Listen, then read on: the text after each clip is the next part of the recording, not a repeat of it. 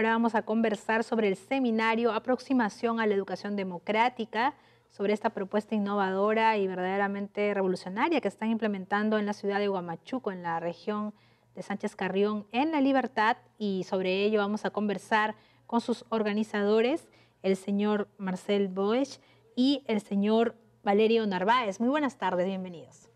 Muy buenas tardes. ¿Cómo están? Cuéntenos, ¿Cómo se está desarrollando este, esta propuesta de la educación democrática en Huamachuco? ¿Ya cuánto tiempo está implementándose este proyecto? Bueno, buenas tardes. Muchas gracias por la entrevista. Nosotros llevamos ya una experiencia de trabajo de hace más o menos 10 años. Ah, hemos empezado con una gran ilusión de poder eh, cambiar radicalmente la educación, especialmente peruana, y hoy tenemos el privilegio de ser un proyecto de educación referente a nivel mundial, ¿no? Y lamentablemente no muy divulgado, conocido como ese nadie es profeta en su tierra, es conocido más en el extranjero que acá en el propio país, porque también yo desconocía y es verdaderamente, he podido ver un pequeño documental y verdaderamente es admirable la forma como se está trabajando con los niños y les da bastante independencia y seguridad en sí mismos y autoestima, que creo que es lo que falta en nuestra niñez sobre todo, ¿no? formarse en ese, en ese sentido. Eh, ¿En qué parte de Guamanchuco se está desarrollando y, y cuál es este, el sistema, cómo es el sistema, cómo se están ustedes este, manejando con los niños, de qué edades y todo esto? Bueno, nosotros estamos ubicados en el caserío de Paranchique, especialmente Paranchique Alto, más o menos a 10 minutos de Huamachuco ciudad. Y bueno, para hablar sobre educación democrática tendríamos que hablar sobre muchos aspectos de la vida. Sin embargo, a grandes rasgos, lo que yo podría decir es que es un proyecto donde los niños asisten y tienen la plena libertad día a día para elegir lo que ellos quieren hacer con su tiempo libre en la escuela. Eh, el niño decide qué aprender, cuándo aprender, dónde aprender, con quién aprender y cuándo él quiere aprender. Por ejemplo, si el niño quiere ir al río, va al río, quiere ir al cerro, quiere ir al bosque, o quiere ir a aprender matemáticas, o quiere hacer comunicación, o quiere ir a la cocina, o quiere estar en la sala de arte. Y en cada espacio hay adultos responsables encargados de acompañar su proceso de cada niño. Muy bien. bueno, a grandes rasgos. Sí, estamos con el señor Marcel Boesch, investigador, él es de Suiza. Y cuéntanos también cómo es su labor, eh, cómo está participando en esta, en esta propuesta de las escuelas democráticas también en nuestro país y en el extranjero. Sí, muy buenas tardes. Em, eh, yo estoy aquí, he llegado a, la región de la Libertad y, y, a Huamachuco porque justamente me llamó mucho la atención como investigador que soy de 15 años visitando proyectos. Me ha impactado especialmente la Escuela Democrática porque a pesar de que hay varios proyectos interesantes a nivel mundial, eh, lo que destaca en la Escuela Democrática de Huamachuco es que brinda ese tipo de educación vanguardia para todo tipo de niños y todo tipo de clases sociales. O sea, podemos encontrar ahí niños de padres analfabetos, pero también eh, niños de clase media de la misma ciudad o sea, de este campo rural como, como de urbano, y, y, la diversidad es lo que hace la riqueza. Y bueno, en lo que ha podido apreciar usted, eh, y usted, señor Valerio, que es el que dirige este proyecto, ¿cómo se está solventando? Porque también requiere una inversión fuerte de dinero, es un proyecto con apoyo estatal, extranjero, ¿cómo están haciendo para que pueda mantenerse en el tiempo? Sí, nosotros tenemos la suerte de tener varios amigos, especialmente en el extranjero, que nos ayudan a llevar este proyecto. Ojalá el Perú, por intermedio de sus instituciones del Estado, pueda decir, bueno, esta es nuestra parte y queremos ayudar en este proyecto tan importante en educación. Como usted ha dicho en la, al iniciar la entrevista, es un proyecto muy conocido a nivel mundial. Por ejemplo, yo acabo de venir tres, puedo, o vengo de, venir, vengo de, disculpe, de Israel, eh, acabando de compartir esta experiencia y se toma como una experiencia importante. Sin embargo, en Perú todavía parece que eh, o nosotros no nos hemos abierto mucho o, o, de repente a las instituciones del Estado no les interesa mucho la educación. ¿no? Claro, porque si bien es cierto, es innovador y es, eh, eh, nueva esta propuesta y también tiene buenos resultados, por lo que me está contando.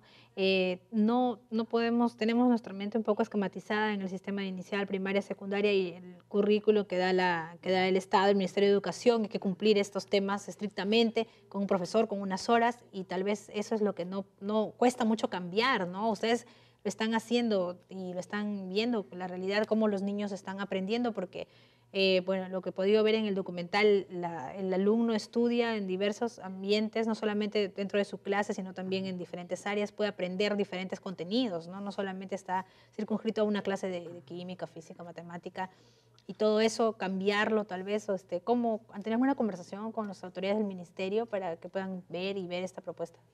Sí, tengo bastantes conversaciones con especialistas del Ministerio de Educación, incluso de Lima, pero aparentemente parece que todavía no les interesa mucho, eh, pero por nuestro lado queremos cada vez más visibilizar la propuesta educativa que llevamos. Eh, y es cierto, en la Escuela Democrática de Guamachuco no hay un currículo estandarizado porque no todos pensamos igualito. Estamos pasando ya a esta era industrial de educación y aparentemente el Perú todavía quiere semejarse a una educación industrial sin tener industrias. Y nosotros estamos llevando una educación que responde a los avances um, de punta a nivel mundial. Eh, mejor dicho, estamos llevando una educación que responde a esta tercera gran revolución de la humanidad, una era del conocimiento y la información. ¿Y ustedes eh, cómo, cómo han adaptado la educación a la realidad de los niños y jóvenes de Guamachuco? ¿no? Porque es muy distinta a su situación tanto en el campo como en la ciudad de Guamachuco, en el caserío de Parachique, donde están ustedes ahora para que ellos puedan entender y se, les sea útil la educación, porque a veces, bueno, se ha llegado según muchos estudios que publican, de que a veces uno estudia física, química, matemática, una raíz cuadrada y en la vida no te sirve a veces aprender eso, ¿no? Y cómo eso ustedes lo han visto para ser útil a la, vida de las personas. Sí, em, nuestro país es un país democrático, ¿no? Eh, en consecuencia, solo por definición, su educación debería ser democrática. Porque fíjese el resultado de nosotros que tenemos en nuestro país, la clase política o, en diferentes instancias. Pero si, nosotros no tenemos una educación que sea democrática, a futuro, por más que, querramos nosotros ser un país democrático, no lo vamos a lograr.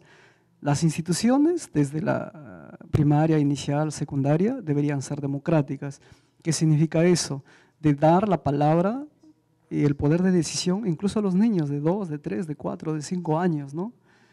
Y bueno, y nosotros crecemos en base a nuestras raíces, en nuestra propia cosmovisión andina y abrazamos esta corriente mundial de innovación educativa que es la educación democrática, que se basa en el respeto a los derechos humanos y el respeto mutuo entre personas. ¿no? ¿Y cómo surgió eh, en usted esta necesidad de tal vez dar algo más a su comunidad y hacerlo a través de esta, de esta Escuela Democrática de Guamachuco? Bueno, yo tendría que recurrir a mi historia de vida porque no es algo que viene y, cae del cielo o algo que te ilumina, sino es toda una trayectoria de vida que estoy muy vinculado primero al trabajo con los derechos humanos, posteriormente fui a estudiar a Alemania y después participo en diferentes encuentros a nivel mundial que se realizan cada año. Y Usted es de Huamachuco, ¿no? Sí, yo soy de Huamachuco. Y entonces por ejemplo, a Marcel conocí el Encuentro Mundial de Educación en Inglaterra y le invité a que conociera el proyecto de la Escuela Democrática y se fascinó. Y ahora estamos juntos iniciando otro sueño, queremos llegar con la educación democrática al nivel superior y queremos eh, eh, formar personas eh, que sean capaces de acompañar procesos de vida de niños, porque en el Perú todavía seguimos formando profesores lo que creo que actualmente ya necesitamos formar facilitadores de aprendizajes, acompañantes de procesos de vida. Y claro, eso previamente habíamos conversado que ustedes tienen reconocimiento oficial del, nivel primario y están buscando el reconocimiento del nivel secundario. Y bueno, eh, deseamos que lo consigan, que logren este reconocimiento en el nivel secundario y luego cómo ellos podrían engancharse al mundo, porque sería volver otra vez de algún modo al, al estándar de que es la educación universitaria o de repente educación superior, ¿cómo podrían ellos buscar ser innovadores dentro del mismo estándar que, al que salen? ¿no? Porque ya se tendrían que insertar al mundo, digamos, de, la educación superior en diferentes instituciones acá en nuestro país o buscar tal vez su propia empresa, como mencionaba usted. ¿Cómo lograr eso? Sí, bueno, nosotros vamos a seguir respetando sus sueños, la pasión que los niños que desarrollan en la escuela democrática quieran hacer a futuro. Si quieren ser ingenieros, tendrán que ir a una universidad, o quieren ser profesores, o quieren ser empresarios, no sé. sin embargo, eh, me gustaría recalcar que lo primero que pueden desarrollar los niños en una escuela democrática es la confianza en sí mismos más allá de aprender los contenidos, que a propósito los contenidos ya pasaron a las máquinas, ellos en, ellos en las escuelas democráticas desarrollan capacidades. El mundo actual necesita personas con capacidades de creatividad, autonomía, independencia, elección consciente de intereses, y así podríamos eh, seguir enumerando algunas capacidades que, no, ni, que ni siquiera lo necesitarían los niños de esta zona, lo necesitamos a nivel mundial. Así es. Porque estamos pasando a a una era de la revolución científica y tecnológica, de una manera impresionante avanza la ciencia y la tecnología, que lo que tú estudias ahora ya no te puede servir dentro de un año. Entonces, por eso necesitamos formar este tipo de personas con estas capacidades, por todo lo que se viene. ¿no? Así es, Marcelo, usted que ha recorrido el mundo viajando, viendo estos proyectos y cuenta que le impresionaba mucho es, sobre todo eso, lo más importante, ¿no? Formar personas de bien y con valores y, bueno, eh, teniendo confianza en sí mismos para que puedan luego utilizar las herramientas que da el mundo y, como ya mencionaba el señor Valerio, em, incluso ahora todo es las máquinas almacenan todos los contenidos, toda la información, tenemos acceso a todas las bibliotecas virtuales, entonces el ser memoristas, el ser crucigramas, llenar crucigramas ya no nos sirve tanto para la vida, sino también tener iniciativa y otras habilidades como la creatividad y otro, y la independencia y la seguridad, ¿no? Qué importante es eso para también ser felices en la vida, que más que tal vez tener un diploma universitario. Sí, yo creo cuanto más máquinas hay que hacen trabajos para nosotros, más tenemos que recordarnos de, de qué quiere decir ser humano, qué cualidades tenemos como seres humanos. Y, y justamente de eso se trata, ¿no? En, en una convivencia democrática, cada uno puede ser el mismo y también puede aceptar y aprender a aceptar el otro que es diferente. Esa tolerancia, por ejemplo, es algo muy importante y yo creo que a nivel mundial y también en Perú es un tema muy urgente de recordarse y de reforzar esto, y ese respeto. trabaja también la igualdad, el tema de la igualdad entre niños y niñas, ¿no? entre varones y mujeres, porque hay ese trato igualitario entre ellos. También veía en el documental de que se, tenían la misma importancia ambos, ¿no? Por supuesto, o sea, pero esto ocurre como automáticamente. En un ambiente de respeto mutuo, todo lo que, que tiene que ver con, con, las diferencias, ¿no? De género, de lo que sea, eh, se anula, digamos, estas diferencias. Mejor dicho, no se anula, se, se toma como un recurso en lugar de de un, de un problema. O sea, es natural que entre diferentes se convive en la escuela democrática y también hay niños que se llamarían aquí niños inclusivos, eh, con, con, necesidades o capacidades diferentes, que, que, están ahí igual. O sea, mm, la propuesta de educación democrática anula muchos desafíos o mejor dicho, eh, les da una respuesta consistente, o cómo lo llamaría, consistente creo que es la palabra.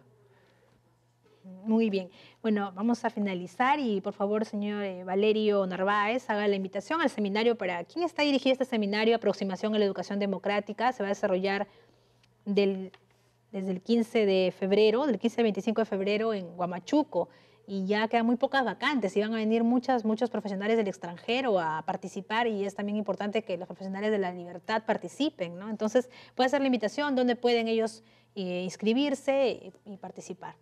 Bien, em, nosotros hemos venido aquí a Trujillo porque em, nosotros hemos difundido a nivel, a nivel internacional este evento. Eh, los primeros que se han inscrito eh, son de Chile, de Argentina, de Brasil, de Cuba, México, Estados Unidos, eh, Ecuador, Colombia, y, de Lima se han inscrito algo de tres, pero nadie de La Libertad, nadie de, Trujillo, nadie de Huamachuco. Entonces hemos dicho, vamos pues a, invitar a las personas que quieran inscribirse de este evento que es, un evento, es el primer evento que está organizando la Universidad Democrática Latinoamericana. Bueno, nosotros llamamos como pluriversidad, porque es una suma de ideas, de opiniones, de personas que vamos a repensar la educación ni siquiera para el Perú, queremos repensar la educación para Latinoamérica, porque Latinoamérica en estos encuentros mundiales, señorita, no cuenta, no tiene opinión, no hay. ¿Quiénes deciden la educación en el mundo? Son Europa, Estados Unidos y Asia un poco relegado. Yo que participo de estos eventos, soy el único de Perú. Entonces, tenemos la gran oportunidad en Huamachuco de realizar este evento para las personas que quieren cambiar, transformar la educación en el Perú. Y aquí hago un llamado a la Gerencia Regional de Educación, a, los responsables de educación de, la Municipalidad de Trujillo y a todas aquellas personas que estén interesadas. ¿Dónde pueden inscribirse? Sí, eh, la página es eh, www.pluriversidad.org. Eh, bueno, ahí van a encontrar toda la información. ¿Tienen página de Facebook? Sí. ¿Cómo está? ¿Con qué nombre la pueden ubicar? Sí, también hay una página de Facebook, pero la inscripción eh, se da en pluriversidad.org. En Facebook se encuentra en Universidad Democrática. Entonces, www.pluriversidad.org para las inscripciones. Sí, y les esperamos con mucho cariño y ojalá ustedes también puedan ir a Huamachuco y cubrir la información de más de cerca. Muchísimas gracias y bueno, esperamos que sea todo un éxito este evento. Vamos a ir ahora a una pausa y regresamos con más información.